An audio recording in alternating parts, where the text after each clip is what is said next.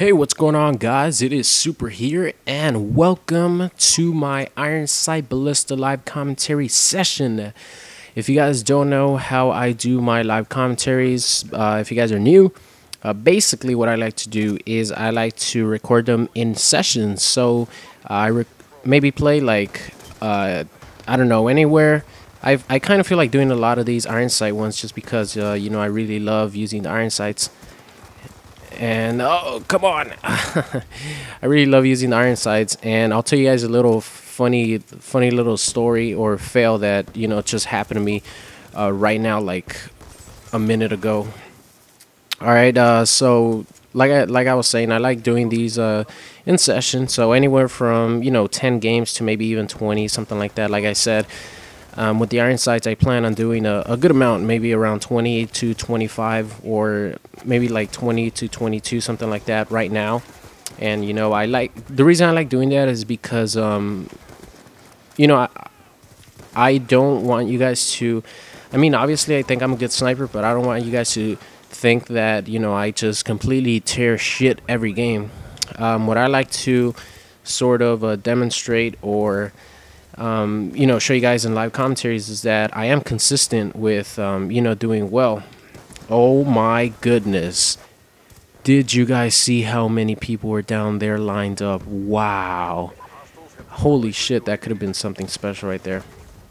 But uh, I don't want you guys to get the wrong idea. Oh my god, come on. That hit detection sucked right there. But uh, like I said, uh, I, I do them in sessions so you guys can see that, um, you know, I do have my bad games as well.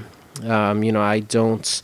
Uh, my style is more. I learned it from XCal. You know, he likes to record um, sessions uh, from you know uh, a lot of sessions to have videos ready to upload. That's another way also to you know stay active. If you record live commentaries in session and uh, you actually want to do the live commentaries like right now uh, you know, I woke up today wanting to do live commentaries. If you do them in session, you know, you're still going to capture that, uh, you know, sort of excitement of wanting to do a live commentary instead of, you know, doing one and then maybe uh, a couple days later you do another one or something like that, or you're forced to do one if you want to stay active and stuff like that. It definitely comes across in the video, I think. So, uh, live commentary sessions is the way to go for me. You know, whenever someone asks me how I'm so active, I kind of give them that advice as well to uh, try to record some live commentary sessions. But um, now, oh my god, I have to double check, of course,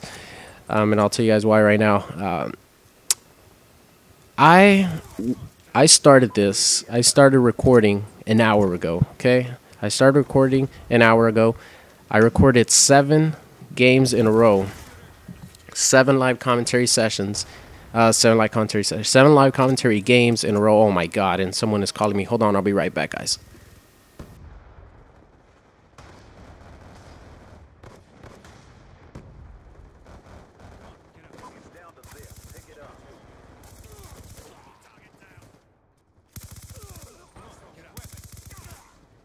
Your tac insert has been destroyed.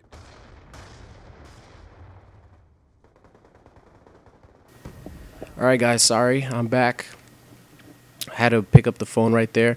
And um, that's the beauty about live commentary sessions. You get interrupted. If someone else calls, I'm not even going to bother. I'm just going to let it ring.